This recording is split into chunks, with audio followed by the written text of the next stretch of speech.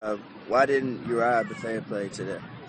We have three starters hurt. Okay. Uriah Bethea sprained his ankle against Roosevelt. Okay. Our starting center sprained his ankle against Roosevelt. Mm. And our starting corner has been out since the first game of the week. Mm. Okay. Um, you think that was the reason why the offense was stagnant in the first half, or one of the reasons that since all those guys were out? There's a lot of people down, but it don't matter. Every team has people down. You have to be able to execute. I think it's a little bit different when you have a comfort zone with certain people.